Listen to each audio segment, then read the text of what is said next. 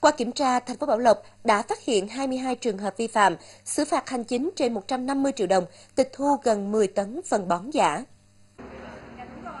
Thành phố Bảo Lộc hiện có 99 cơ sở kinh doanh phân bón, thuốc bảo vệ thực vật, trong đó có 3 công ty, một đại lý cấp 1 hoạt động kinh doanh phân bón, thuốc bảo vệ thực vật. Số còn lại là các cửa hàng bán lẻ, đại lý cấp 2 và trên 80 cơ sở sản xuất, khai thác nguồn giống, vật liệu giống, cây công nghiệp và cây ăn quả.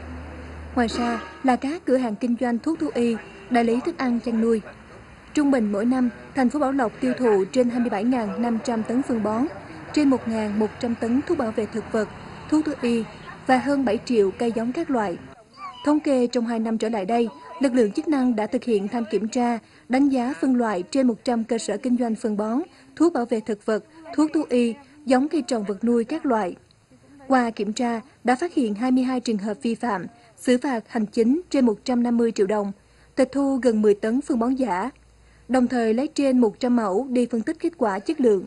Từ đó đã có phần hạn chế, giảm thiểu việc kinh doanh phân bón giả, phân bón kém chất lượng và các giống cây trồng vật nuôi không rõ nguồn gốc, không đảm bảo chất lượng, giảm thiểu thiệt hại cho người nông dân.